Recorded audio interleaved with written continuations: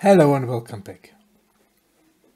This time we're talking about second order delay system. Second order delay system. The second order delay system has two almost equal, one slightly bigger slightly smaller part energy storage things, uh, at least not one. Yeah? Real systems always have a lot of energy storing parts, but usually they have one, one which is quite big compared to the others. Then it behaves like a first order delay system, or maybe they have two which are comparable. Then it behaves like a second order delay systems. All other storage, uh, energy storage things inside, they are usually small and cannot, does not really count. You cannot see it in their responses. So, let's have our first, this is the step. Step response.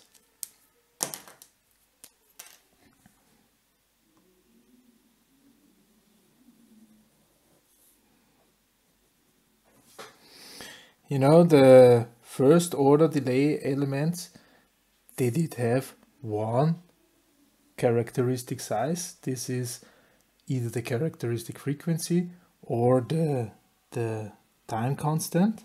Yeah. Here, second order, we do have two. Input again, output again we have to have two characteristic things. However, the input is the same, right? So we have zero and some point in time we jump to a certain value and then that's it. Yeah? Step. Exactly the same as before.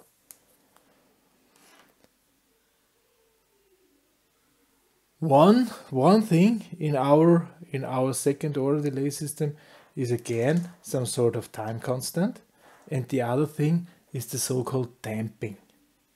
Okay. I will now draw uh, a system which is has a damping value of 1. 1 means it's not damped but not swinging as well and it almost it almost looks like a PT1 system. Yeah? However, there's one slight slight but important difference. This is here at the start, it's not starting with a knick with bend, it's starting gentle. Yeah? It's starting to increase.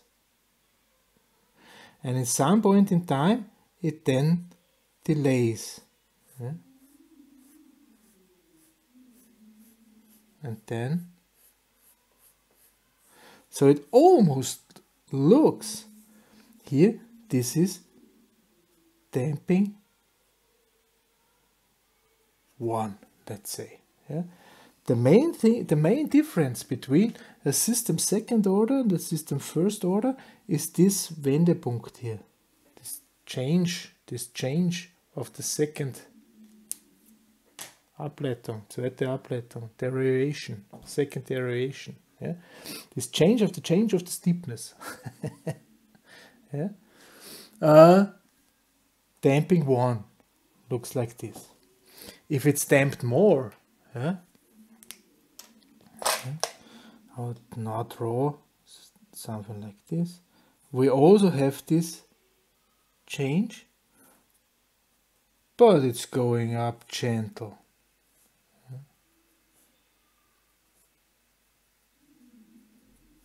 This is d bigger than 1 okay? And if d is below 1 yeah so I will now drive look like 0 0.2 or something like this. Then we also start with gentle. We go up very straight and fast. We will overswing here. And then we start to swing.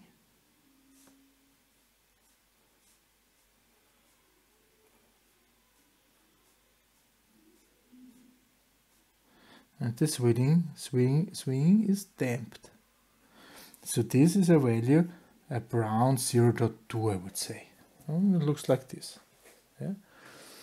One thing which we want to achieve is that our our output our output is almost reaching our input very fast. Yeah? So you, we could say, oh, no overswinging, no overswinging, because then our output would maybe be too much. Yeah, we see much more than we actually have to measure. Yeah, so we use one. It's, it's the aperiodic uh, border case. Is it called aperiodischer Grenzfall? I don't know exactly if this English word was correct. So it's the it's an extreme it's just not overswinging. That means damping is one. Yeah? However, there is one, there's one thing which is reacting faster a little bit, and this is a damping of around 0.7. Then we go up, hmm, overswing a little bit,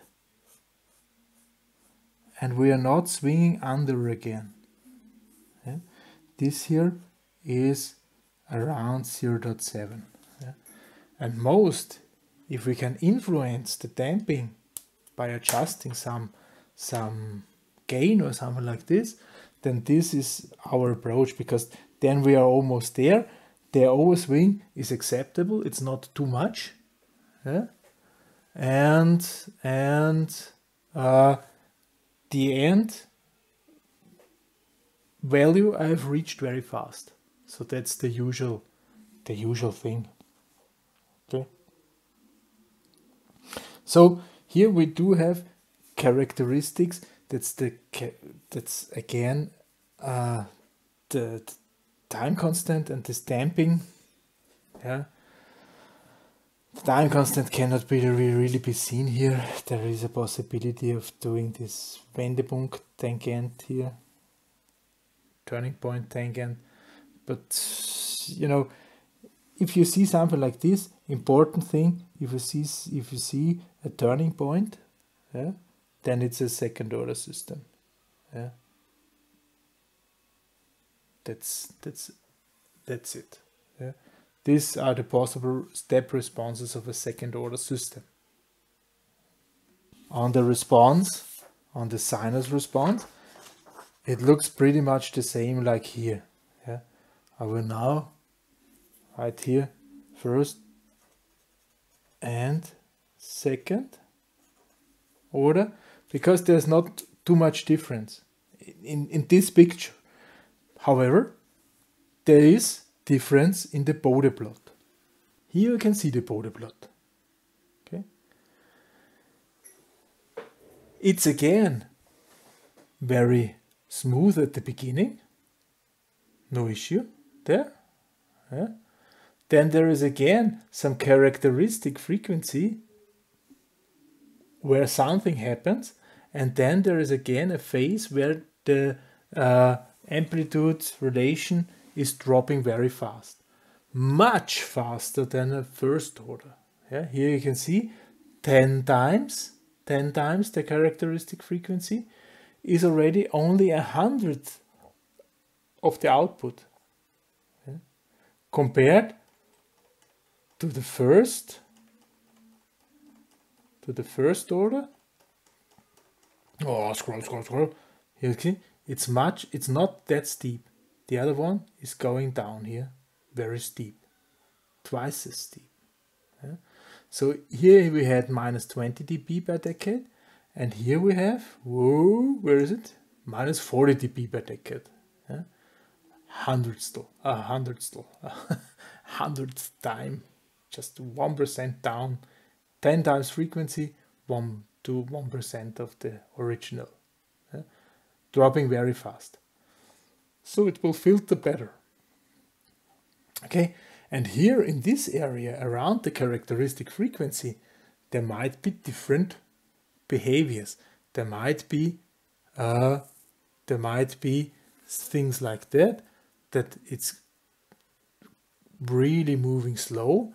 Sometimes at really high dampings you can see one one band and then minus 20 dB per decade and then a second band to minus 40 dB per decade. This is then two characteristic time constants there. This is uh, maybe you can think of it two PT1 elements after each other, first order elements after each other. However, if the damping is not that high and very low, you will get around this characteristic frequency some resonance. Yeah? So we're getting higher output than input. Yeah? Resonanzerscheinung, resonance effect we have here around this. Yeah? Can be seen. Okay. So depending depending on the damping, this here looks a little bit different in the Bode plot. Okay. The frequency, the frequency is also different because this is now again starting at zero but however at the characteristic frequency I have minus 90 degree already not minus 44 45 and I will go down to almost minus 180 so almost shifting half of the of the phase yeah? this is typical for second order delay system okay so if the Bode plot looks like this, you know it's a second order.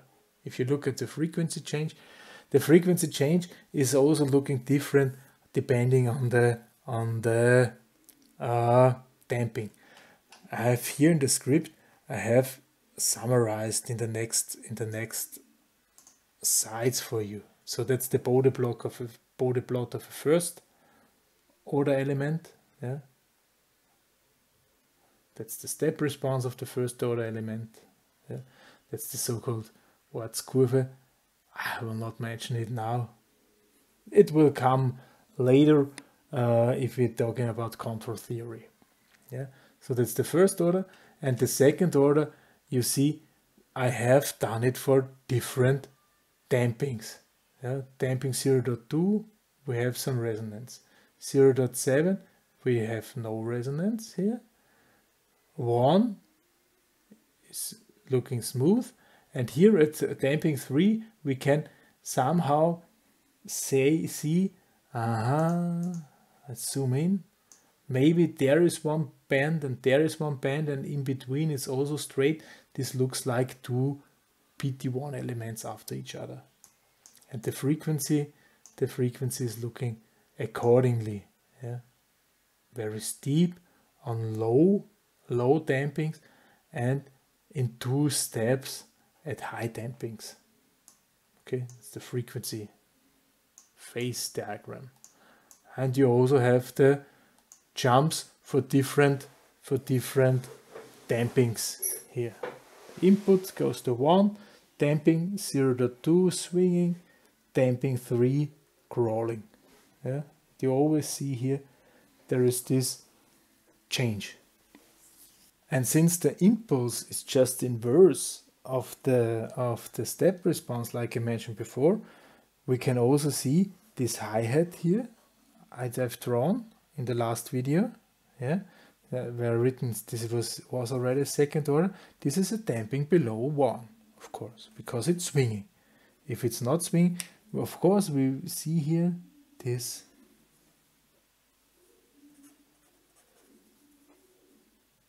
turning point again somehow yeah?